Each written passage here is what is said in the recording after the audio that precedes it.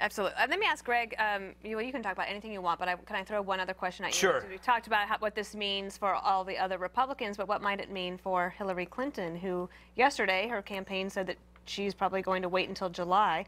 Does this change her calculus?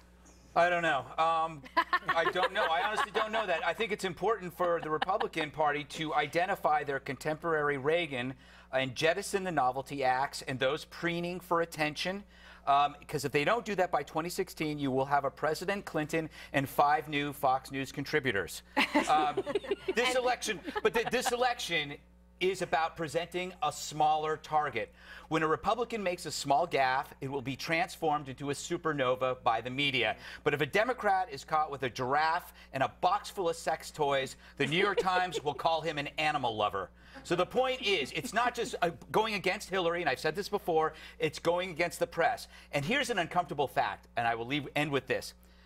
Romney would have been a great president. There's no question about that. He was a lousy campaigner, but if you look at him and you listen to him, he is a good man. And if you had a crystal ball and it showed 2016 President Romney, the entire country, liberals included, would breathe a sigh of relief and they would say, finally, an adult in the room. But well, sadly, he couldn't make that argument himself. You know, what you good